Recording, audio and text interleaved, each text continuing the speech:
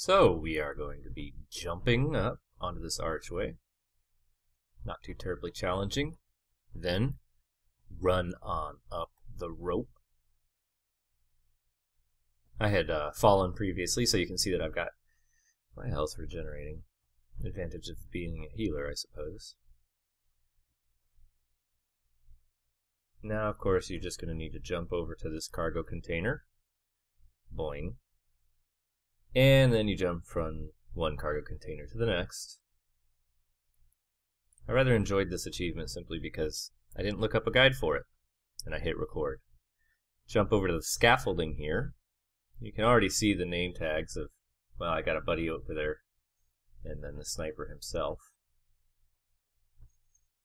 Otherwise, as you can see, there's a bunch of little connecting beams and whatnot for the scaffolding.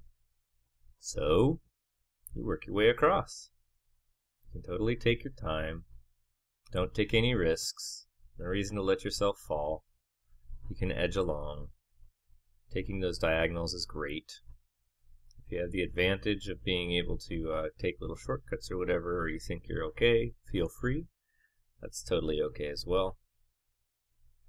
But most important of all is that you just take your time because it's a long drop. It won't kill you, but it'll definitely hurt you.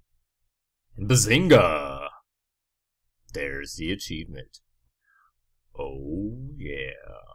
Boom, boom. By the way, this achievement also comes with a title. You can see that I'm pulling it up here. And other than that, there isn't much left to do other than a dance party.